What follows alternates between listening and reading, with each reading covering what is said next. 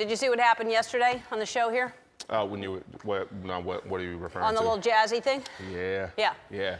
You went for it though. You, Didn't mean to. Yeah, you went Didn't for mean it, to. though. You did. I raced Zach Braff on a jazzy, or those little scooter things. I call them a jazzy. Some people call them rascals. It's a scooter thing, and uh, it sounds cooler than it is. And um, we were having a whole lot of fun outside, and I and I didn't want to get off of it, so I, I rode it into the studio. I thought we had stopped filming, and I thought it'd be fun to pretend to run over Andy in a in a loving, in a nice, loving way. And, uh, you know, I don't have these dancing legs insured, but I think I, I should start doing that. I almost hurt my dancing legs. So um, this, is, this is what happened.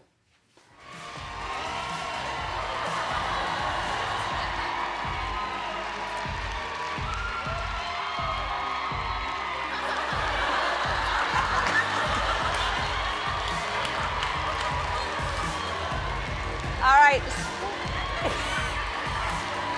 So what happened was, the, the way you make it go, there's a little thing that you hook your finger in, and uh, I had forgotten that that's what makes it go. So my finger was hooked in, so I was at full speed at like two miles an hour, and but my knee got caught, and it, and I forgot to take. I was trying to get off of it, but I was still, I was still kind of going, and when I realized, oh, I, it's, it's still going, I'm stuck.